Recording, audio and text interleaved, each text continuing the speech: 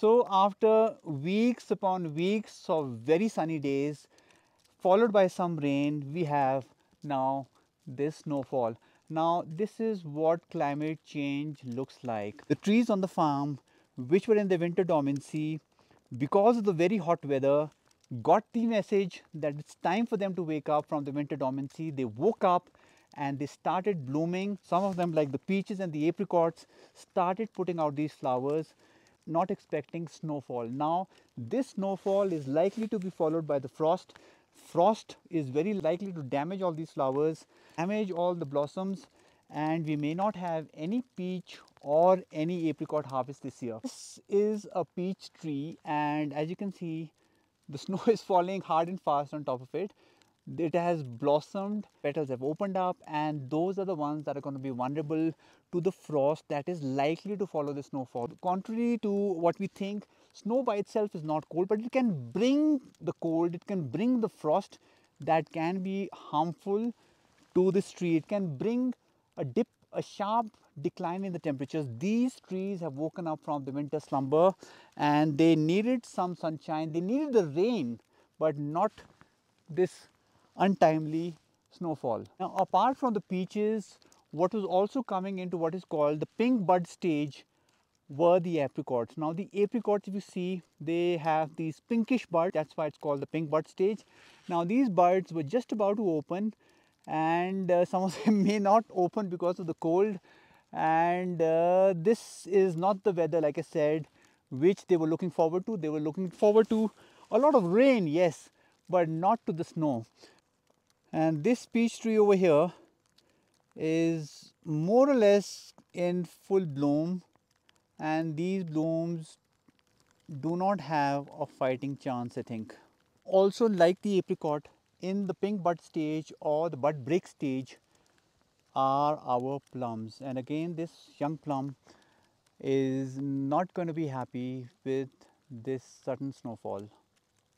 Thankfully, we also have some trees on a farm like this cherry tree which have not really woken up from the winter dormancy. They are still dormant. The buds have not yet broken. So they are not going to be vulnerable to this sudden snowfall, to the snowfall which we've had today.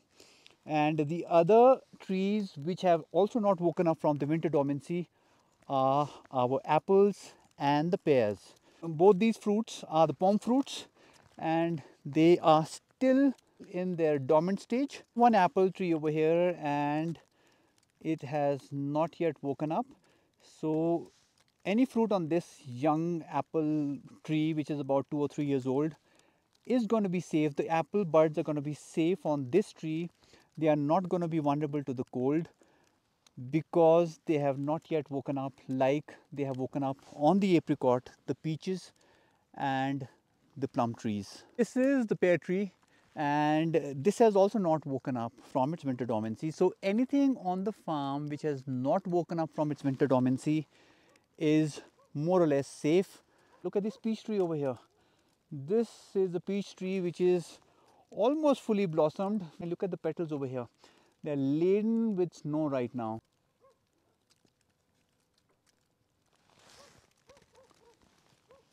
And its neighbor the apricot tree again this one is the one that we harvested from last year. And if I remember correctly, this one, this variety is called the Prisia variety.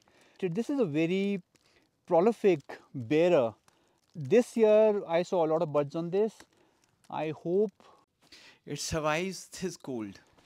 This is a variety of plum which unlike the other variety we have on the farm which has not woken up from its winter dormancy and this variety this perhaps the late variety, this late variety is called the prunes. Now these prunes, if you can see the buds, they are not even swelled up and uh, they are very far from the pink bud stage that the other varieties are in.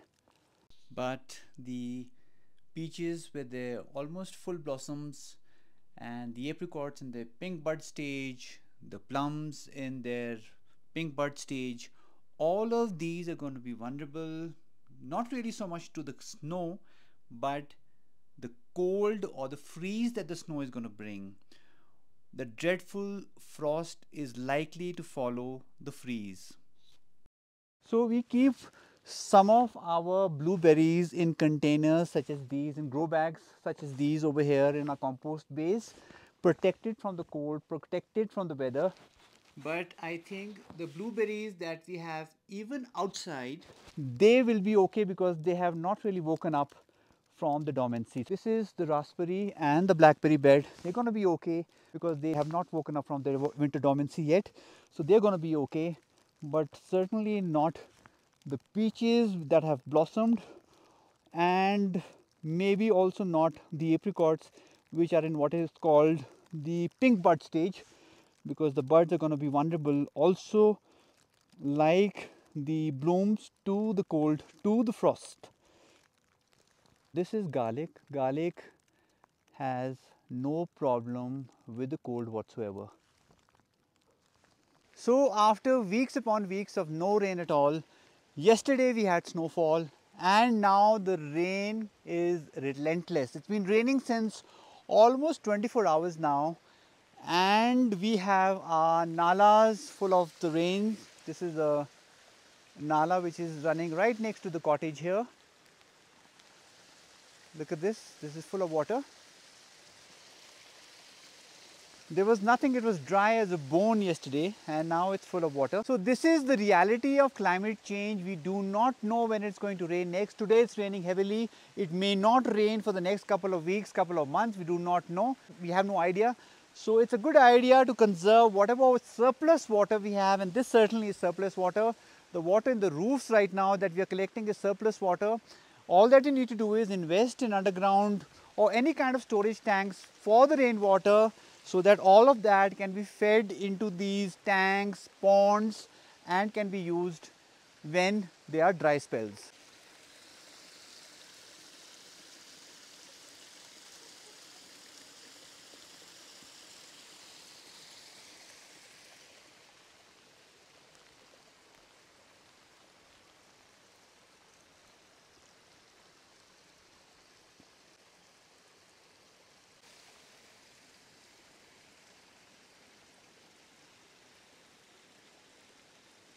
Because of the relentless rain, because the heavy rainfall that we've been having since the past couple of hours, water sources have opened up. Now you see water dripping from everywhere, dripping from the walls, collecting in these drains, taking it down to the bigger drain and down eventually to the rivers. This is a beleaguered peach blossom, sometimes buffeted by the rain, sometimes by the snow. We have no clue whether it's going to survive or not.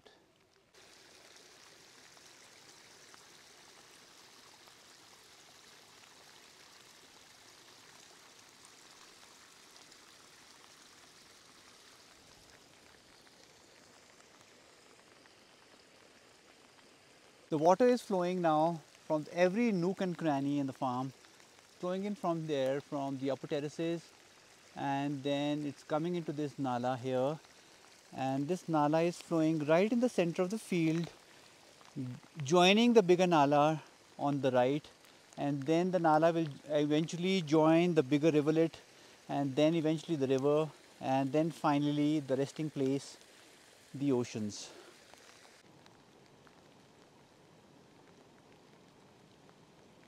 Adjoining a farm is this nala flowing behind me. It's full of rain-fed water and the water is trickling down from different houses along the slope. Uh, the water coming from the roads is joining it, water flowing from the terraces of the farm. It is being fed by all these sources and it's flowing down now. This water is also a resource. This water can also be harvested. It can fill the ponds in the farm. It can fill any kind of water reservoir that you might have because this is a surplus, this is a free source of water. We are using it to feed our duck pond, we are using it to feed our fish pond because like I keep saying, this is a resource which is there today but which might not be there tomorrow. This is the Nala taking the water all the way down, down to the river, down to the rivulets, down to the ocean eventually.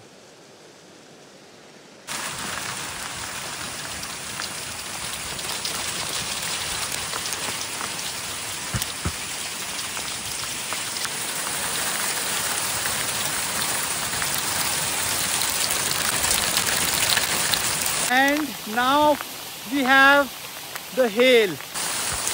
This peach tree in full blossom is being battered along with me with this hail.